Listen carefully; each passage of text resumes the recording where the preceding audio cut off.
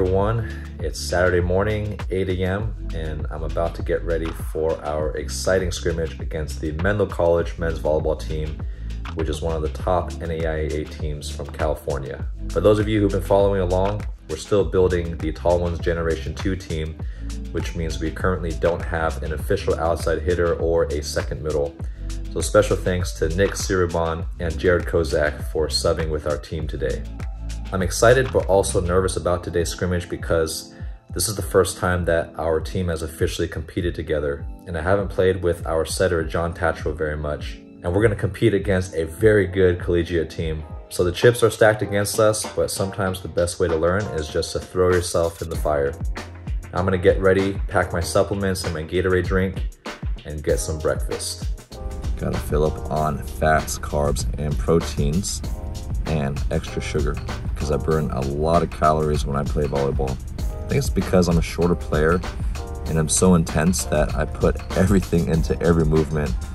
And volleyball is not known as like a super high calorie burning sport compared to sports like soccer and basketball. But I think the way I play is pretty high calorie burning.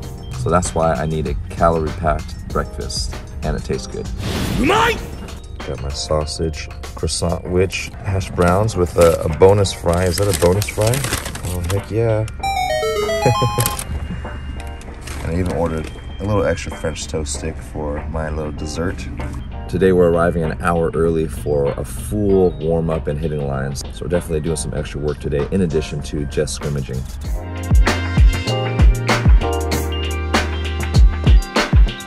This is a really nice campus here. Got a lot of nice trees. finally got to the gym.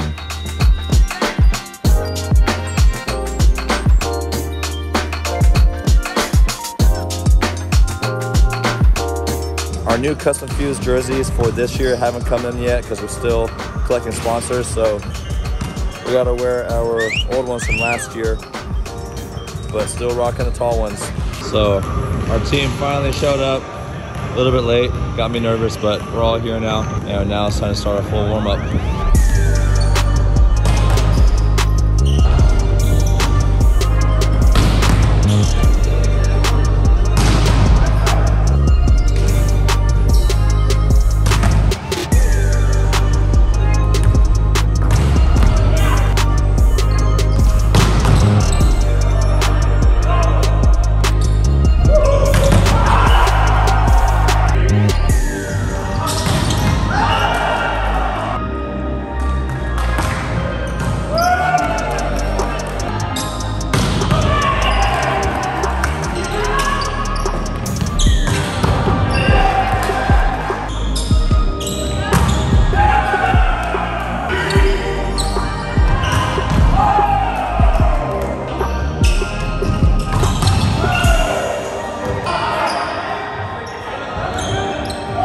up.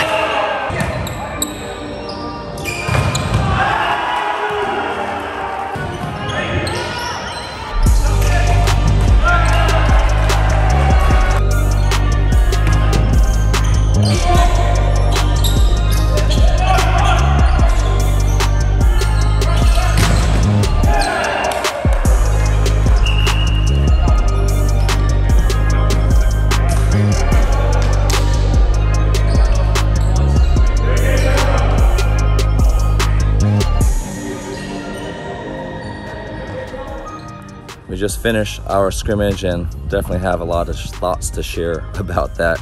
As you can see, it was a little bit rough, uh, but we're gonna go have lunch with some of our teammates, John, our setter, and Brant, our libero. And sushi always feels good after volleyball. High protein, carbs, but not super heavy.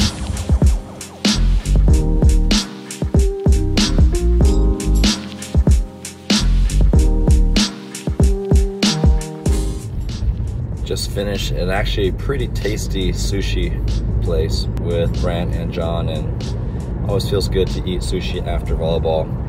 I decided to drive back to the gym because SportCon X, the other VLA team in our area, Ryan Bridges' team, is actually scrimmaging at Menlo College right after us. And we're a tier two team for the VLA and Ryan Bridges is tier one, so his team's definitely a lot stronger than ours.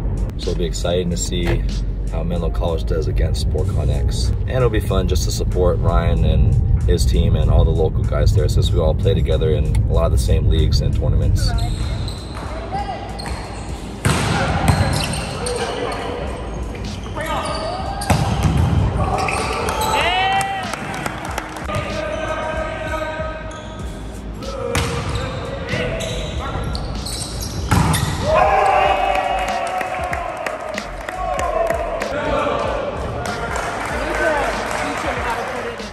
Just got home from watching SportCon-X play Menlo College.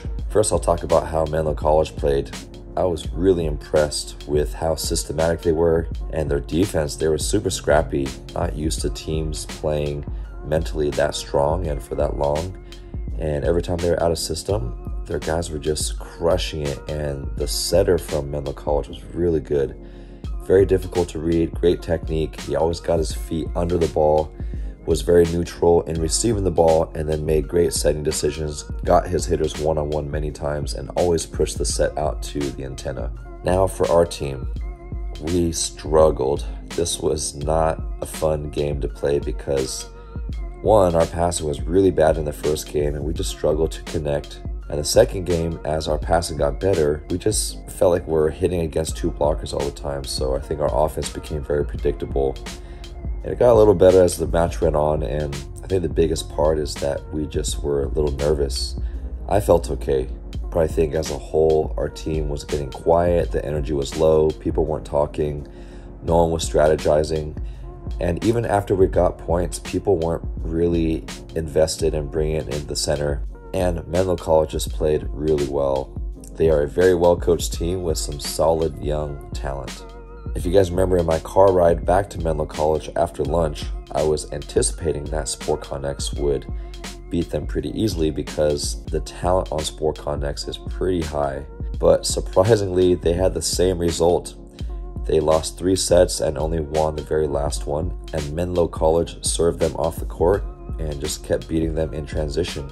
And you got to give Menlo College for all the hard work that they've put in. They've been practicing for a while, for a couple months, weightlifting, and, and just putting in some good work in.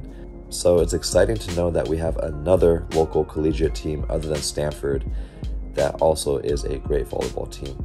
Thanks for watching this vlog. We'll see you guys in the next one.